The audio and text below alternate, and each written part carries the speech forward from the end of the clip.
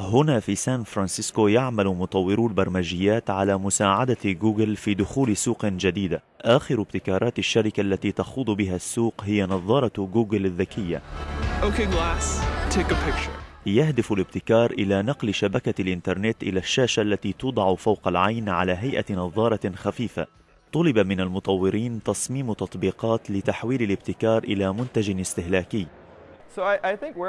أعتقد أن مثل هذه الأدوات الذكية أصبحت أصغر حجما وأسهل استخداما وصار الناس يكتشفونها كما اكتشفوا الهاتف المحمول من قبل.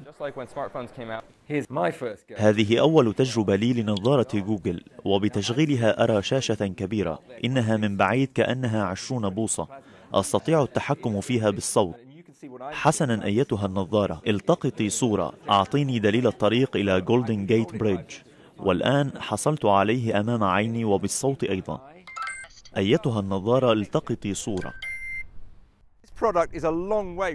ما زال الطريق طويلا حتى يصبح هذا المنتج في متناول المستهلكين لكنه يحقق تقدما ملموسا. يرغب البعض في منعه عن السائقين لكن هناك تساؤل لدي آخرون هل هذا الابتكار مدهش أم أنه غير ذلك؟ هل تعلمين أنني أسجل مقطعا مصورا الآن؟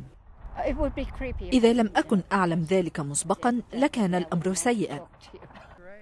هذا المدون يقول إنه لا يستطيع خلع نظارة جوجل منذ أن اشتراها الشهر الماضي.